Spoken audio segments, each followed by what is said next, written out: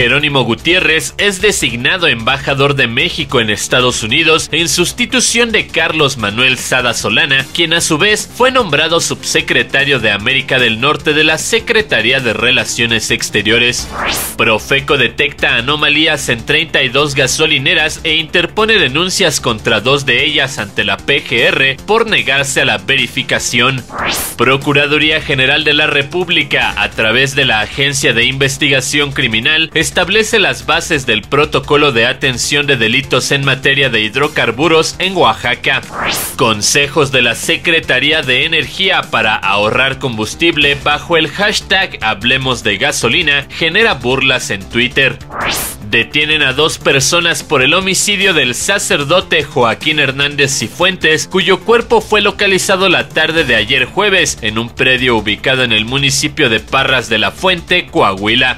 Informó para El Punto Crítico Diego Rivero.